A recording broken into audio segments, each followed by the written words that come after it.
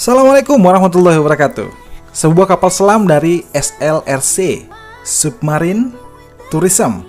Jadi untuk Submarine Tourism ini ada beberapa kendala yang saya hadapi. Yang pertama adalah pada saat pertama kali Anda masukkan ke air, dia tidak mau berbelok. Untuk maju, menyelam itu fungsinya masih sangat baik, tetapi pada saat pertama kali Anda masukkan ke air, dia tidak mau berbelok ya kita akan memberikan tutorial caranya agar dia berbelok. Jadi anda tinggal kocok-kocok seperti ini aja bagian belakangnya ke air. Maka motor untuk berbelok itu akan berfungsi secara normal. Nah jadi sebenarnya untuk motornya itu fungsi.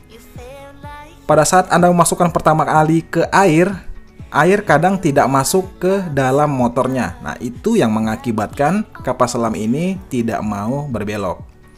Nah, itu dia untuk hari ini. Terima kasih telah menonton dan sampai jumpa di video selanjutnya. Assalamualaikum warahmatullahi wabarakatuh.